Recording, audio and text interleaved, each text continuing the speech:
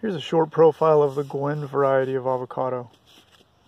So this is a Gwen, and this is a Lamb Hass and a Pinkerton for comparison's sake.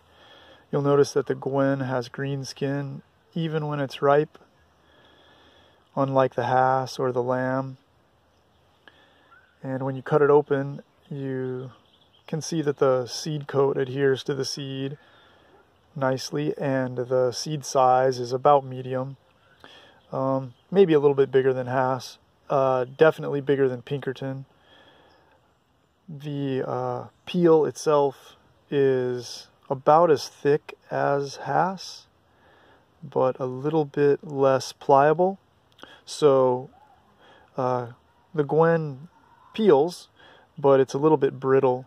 Kind of breaks apart a little bit like a GEM. Uh, but it peels better than the Lamb, I'd say and uh, leaves a little bit of grit on the edge when you cut it open, but it's no big deal.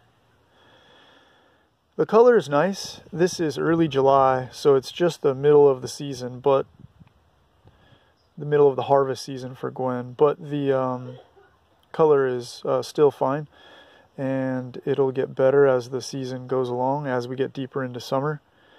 The the texture of the flesh is pretty firm yet no uh, fiber to speak of, and the taste is excellent. Um, I, I, think I find it a very good eating avocado, uh, about as good as they get. Um, so that's your short profile of the Gwen variety of avocado.